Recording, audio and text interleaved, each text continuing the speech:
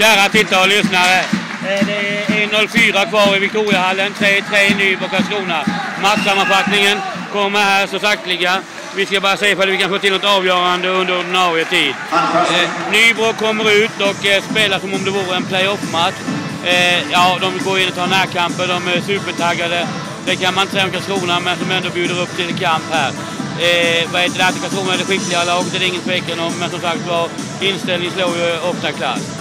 Eh, varför då Nybro har den här inställningen ikväll? Ja, både på läktaren och på eh, isen visar Nybro att de har knutit näven i fickan med spelare som försvinner hit och dit och sen ryktena förstås eh, om att kanske två spelare är på väg till Djurgården i Karlskrona har eh, förstås förstärkt detta. Som ni hör, även Nybroklacken håller igång trots deras utsatta läge.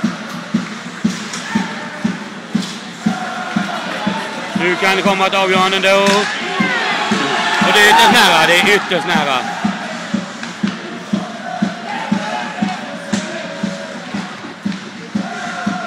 Vi följer det.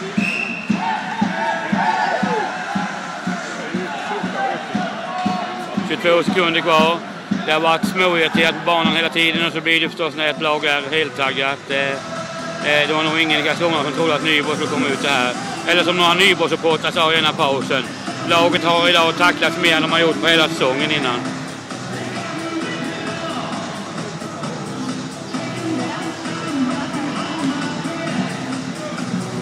Vi följer de 22 sekunderna.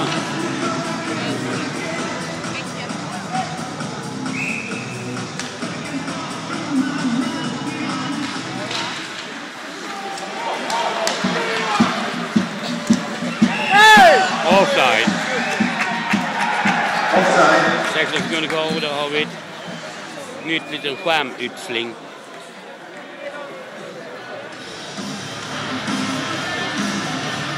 Ja, just de här två ryktena från Nybro till Karlskrona, spelarna som har tagit timeout. Det är förstås det här som gör att den stora tändningen och även irritationen ligger i luften hos publik och spelare här i Nybro. Det finns förstås också en intervju här med Nybrosporter som kommer upp ikväll eh, som ni kan höra.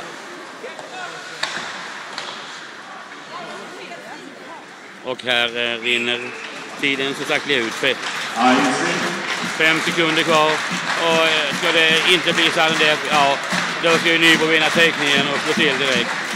Annars har vi en sudden framför oss.